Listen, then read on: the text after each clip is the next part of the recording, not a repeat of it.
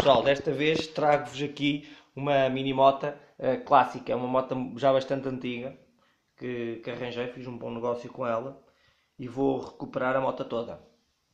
Eu penso que é uma Blata 2.5.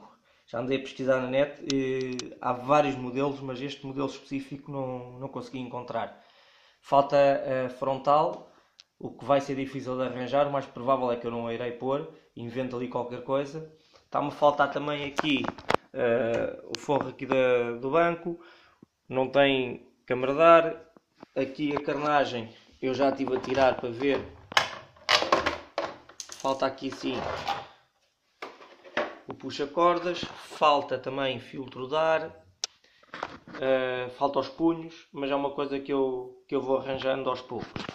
Aqui como podem ver, uma coisa diferente é o escape, tem um escape muito pequeno,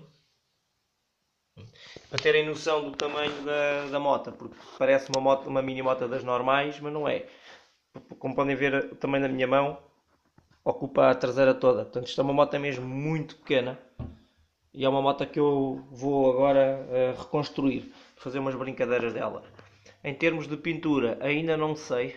Eu estou a pensar pôr o quadro todo preto e as carnagens todas em vermelho mas estou, estou disposto a ouvir sugestões vossas, portanto, se me quiserem dar uma ajuda, agradeço. Acompanhem o resto dos vídeos, pois eu vou começar a, a recuperar esta moto.